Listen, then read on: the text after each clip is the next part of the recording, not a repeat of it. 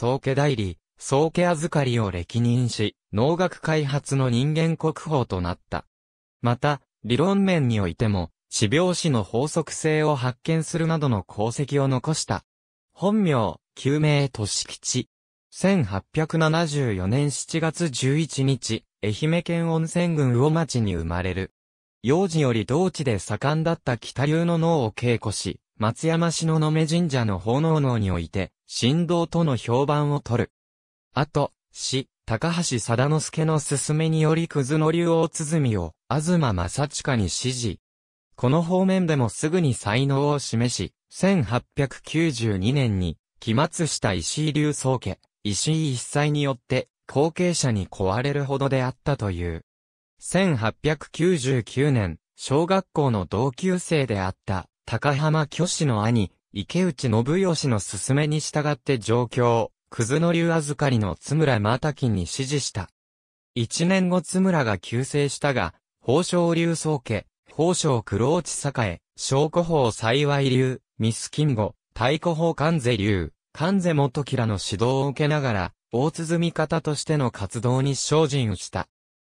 以後、1904年、日露戦争兼勤務で、石橋連死し、1906年、宝生黒院大能で、あたけ延年の前、1910年、明治天皇天覧能、1915年、大正天皇即位式能などの舞台を務める。一方で、池内肝入りの能楽会において林方、育成事業に積極的に関わり、吉見義樹、亀井敏夫らの皇帝を育てた。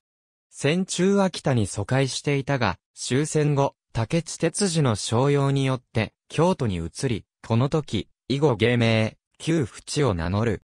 1950年、東京に転ずるとともに、クズの竜宗家預かりの座につき、1953年、林方として、初の芸術委員会員に就任。1955年には、北六平太及び証拠方、幸い流、幸い義光と共に、農学開発の重要無形文化財保持者の認定を受ける。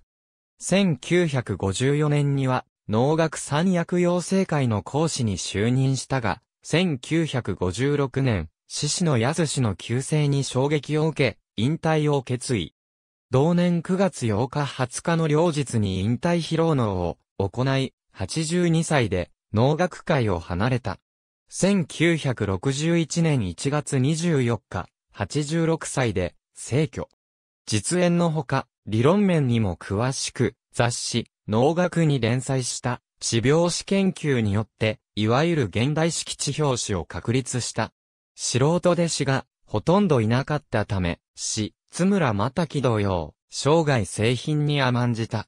一方で、同時代の北六平太、野口金本、梅若万三郎、幸い義光といった名手からは、高い評価を受けた。